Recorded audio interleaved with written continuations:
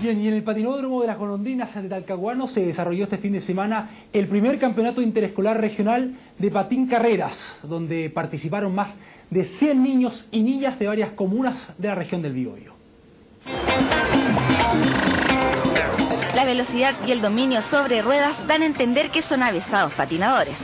Sin embargo, estos niños de la Escuela San Francisco de Talcahuano solo llevan seis meses practicando este deporte. Con toda su energía representaron a su comuna en el campeonato interescolar de patín carrera que se realizó en el patinódromo ubicado en Las Golondrinas.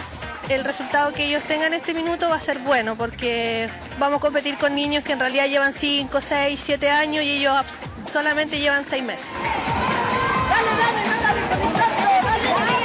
82 niños de Coronel, Lebu, Concepción y Cañete, además de los locales, pudieron demostrar sus destrezas en la primera etapa del campeonato.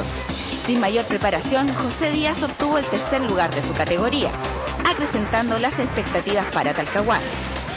Empecé a practicar con, con la escuela Cerro San Francisco hace tres días. Antes había practicado como, como tres semanas y después paré como harto año.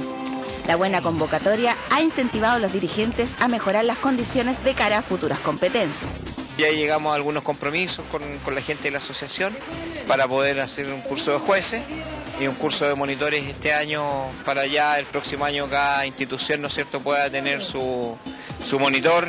Fue su debut, experiencia que para estos novatos deportistas servirá de motivación para seguir en carrera y patinar hacia el triunfo de la final, que tiene fecha programada para diciembre en Cañete.